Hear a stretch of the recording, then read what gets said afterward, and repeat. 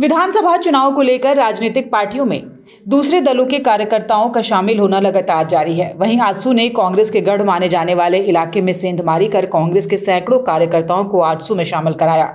ज़िले के किस्को प्रखंड क्षेत्र के नारीनावाडी गाँव के धुरवा मोड़ मैदान में आजसू पार्टी की चुनावी जनसभा कार्यक्रम का आयोजन किया गया, जिसमें आजसू पार्टी के एनडीए प्रत्याशी नीरू शांति भगत को भारी मतों से विजयी बनाने को लेकर रणनीति बनाई गई। इस दौरान आजसू पार्टी जिंदाबाद, नीरू शांति भगत जिंदाबाद के नारे भी लगाए गए। कार्यक्रम में एनडीए प्रत्याशी नीरू शांति भगत मौजूद रही इस चुनावी जनसभा में कांग्रेस पार्टी छोड़कर, सैकड़ों कार्यकर्ताओं ने आजसू पार्टी का दामन थाम लिया। सदस्यता ग्रहण करने वाले सभी लोगों को एनडीए प्रत्याशी नीरू शांति भगत के द्वारा पार्टी का पट्टा पहनाकर गर्मजोशी के साथ उनका स्वागत किया गया। करती हूँ।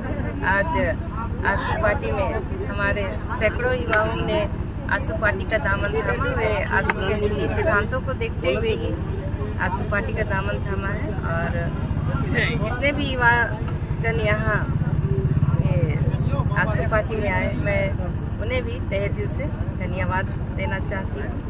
न्यूज़ विंग के लिए लोहरदगा से प्रीतम कुमार की रिपोर्ट। डोंट वेरी सर घर आपको टाइम पर मिलेगा। और ऐसा मिलेगा कि आपकी उंगलियाँ भी बरतेंगी। ये देखिए सर ए वन क्वालिटी का सीमेंट लगा रहा हूँ मैं।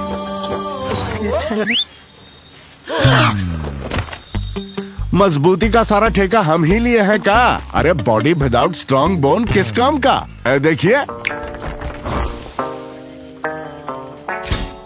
मज़बूत घर चाहिए तो अच्छे सीमेंट के साथ अच्छा सरिया भी लगाइए। तभी तो ऐसा घर बनेगा जो पीढ़िया बरते तो कौन सा टीएमटी लगाएँ? अरे एक ही तो है। भारत का सबसे भरोसेमंद Saluja gold TMT bars extra strong higher earthquake resistance flexible better bonding with cement और सालों का भरोसा।